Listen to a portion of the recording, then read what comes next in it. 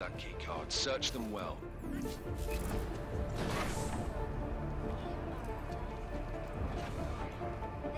in Hawaii, an international...